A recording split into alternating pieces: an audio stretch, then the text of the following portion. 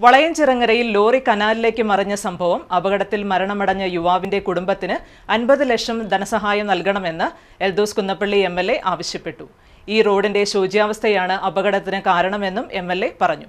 കഴിഞ്ഞ ദിവസം മണ്ണൂർ പോഞ്ഞാശ്ശേരി റോഡിൽ മരണമടഞ്ഞ യുവാവിന്റെ കുടുംബത്തിന് നഷ്ടപരിഹാരമായി മുഖ്യമന്ത്രിയുടെ ദുരിതാശ്വാസ നിധിയിൽ നിന്ന് അൻപത് ലക്ഷം രൂപ അനുവദിക്കണമെന്ന് എൽദോസ് കുന്നപ്പള്ളി എ ആവശ്യപ്പെട്ടു. യുവാവിന്റെ മരണത്തിന്റെ ഉത്തരവാദിത്തത്തിൽ നിന്നും പൊതുമരാമത്ത് വകുപ്പിന് ഒഴിഞ്ഞുമാറുവാൻ സാധിക്കില്ല. പതിനാല് മാസം കൊണ്ട് തീർക്കേണ്ട റോഡ് പ്രവൃത്തി ഉദ്യോഗസ്ഥരുടെ നിഷ്ക്രിയത്വം മൂലം വൈകുന്നുവെന്നും എം എൽ എ പറഞ്ഞു. മണ്ണൂർ പൊന്നാശ്ശേരി റോഡിൽ കുഴിയിൽ വീണ് തടിലോറി മറിഞ്ഞ് ഒരു ചെറുപ്പക്കാരൻ മരണപ്പെട്ടു പോവുകയുണ്ടായി. ഇത് യഥാർത്ഥത്തിൽ ഈ വകുപ്പിന്റെ ഏറ്റവും വലിയ അനാസ്ഥ കൊണ്ടാണ്. ഞാൻ ഇതുമായി ബന്ധപ്പെട്ട് എക്സിക്യൂട്ടീവ് എഞ്ചിനീയർക്കും എ എക്സ്ക്കും എയ്ക്കും ഞാൻ ഇതിന്റെ ധാർമ്മിക ഉത്തരവാദിത്വം നിങ്ങൾക്കാണ്. നമുക്ക് എല്ലാവർക്കും ഉണ്ട് എന്ന് പറയുകയുണ്ടായി. മൂന്ന് വർഷമായി ഒരു റോഡ് പണി തീരാതെ കിടക്കുകയാണ്.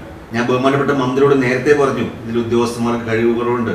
അവർക്കത് അറിയില്ല. എസ്റ്റിമേറ്റ് പ്രിപ്പയർ ചെയ്യാൻ അറിയില്ല. ലെവൽസ് എടുക്കാൻ അറിയില്ല. ഇവരെ ട്രാൻസ്ഫർ ചെയ്യണമെന്ന് പറഞ്ഞിട്ട് മന്ത്രി അത് സമ്മതിച്ചിട്ടില്ല. മൂന്ന് വർഷം ആകാതെ ട്രാൻസ്ഫർ ചെയ്യാൻ പറ്റില്ല എന്ന് പറയുന്നത്. ഇപ്പം ജനങ്ങളുടെ പ്രശ്നങ്ങൾ പരിഹരിക്കുക എന്നുള്ള ഉത്തരവാദിത്വം സർക്കാരിനുണ്ട്. സർക്കാർ ആ കടമ നിറവേറ്റുന്നില്ല. അടിയന്തര നടപടികൾ സ്വീകരിക്കണമെന്ന് പൊതുമരാമത്ത് വകുപ്പ് മന്ത്രി ജി സുധാകരനോട് എം എൽ എ അഭ്യർത്ഥിച്ചിട്ടുണ്ട്. ഒരു ധാർമ്മിക ഉത്തരവാദിത്വം ഇതുമായി ബന്ധപ്പെട്ട് പൊതുമരാമത്ത് വകുപ്പിനുണ്ട്. അതുകൊണ്ട് തന്നെ പൊതുമരാമത്ത് മന്ത്രിയോട് ഈ കാര്യം ഞാൻ കത്തിലൂടെ സൂചിപ്പിക്കുകയും അമ്പത് ലക്ഷം രൂപ അടിയന്തരമായി അവർക്ക് നഷ്ടപരിഹാരം കൊടുക്കാനും പറഞ്ഞിട്ടുണ്ട്. ഒരാൾ മരണപ്പെട്ടു പോകണ എത്ര കൊടുത്താലും നഷ്ടം തീരത്തില്ല. News desk Perumbavoor.